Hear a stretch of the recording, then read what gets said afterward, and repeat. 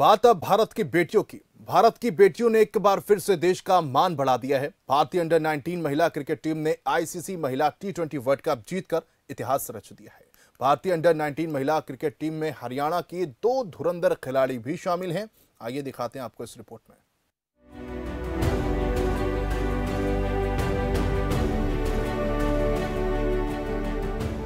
मारी छोरी छोरू से कम है कि कहने को तो ये एक फिल्मी डायलॉग है, लेकिन आजकल रियल लाइफ में भी ये डायलॉग सही साबित हो रहा है। देश की बेटियों ने एक बार फिर देश का नाम रोशन कर दिया है।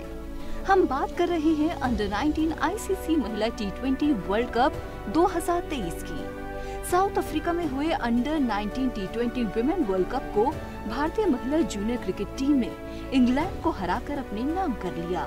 भारतीय महिला जूनियर क्रिकेट टीम में हरियाणा के रोहतक की दो महिलाएँ भी शामिल थी।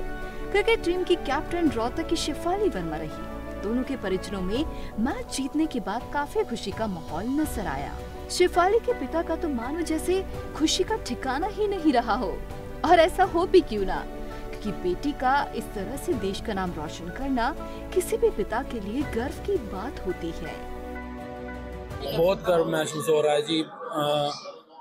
बहुत अच्छा लगता है। हर किसी की माँ बाप को ही अच्छा लगता है जब उसकी बेटी इंडिया के लिए खेलती है तो। गर्व सीना चौड़ा हो गया। हाँ गर्व से सीना चौड़ा हो गया।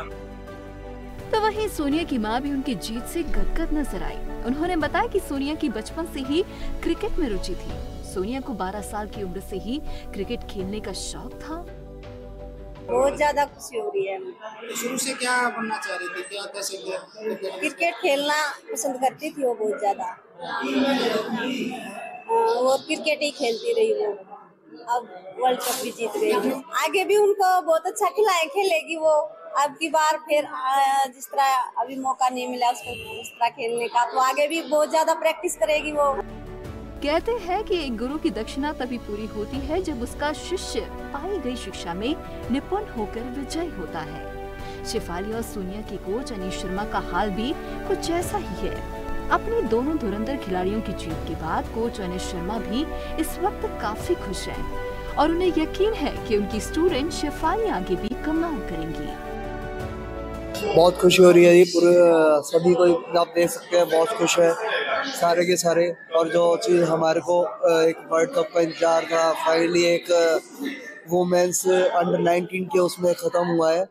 और हमारे को अब एक ट्रॉफी का और इंतज़ार है एक वर्ल्ड कप का और इंतज़ार है जो नेक्स्ट मंथ होने वाला है सीनियर्स में। सफाली से कितनी उम्मीद शेफाली से बहुत ज़्यादा उम्मीदें हैं और हमेशा ही रहती है। और अच्छा खेलती है हमेशा ही हमेशा से ही हमारे पसंदीदा गर्ल्स में से बैट्समैन बैटर में से। Under 19 T women World Cup final में इंग्लैंड की महिला टीम ने अड़सठ रन बनाए थे, जिसके जवाब में भारतीय महिला जूनियर टीम ने उनहत्तर रन बनाकर इस वर्ल्ड कप को अपने नाम कर लिया। देश के लिए ये पल वाकई ऐतिहासिक है, क्योंकि ये पहला मौका है जब भारतीय महिलाओं ने चाहे सीनियर हो या फिर जूनियर में विश्व कप खिताब जीता है।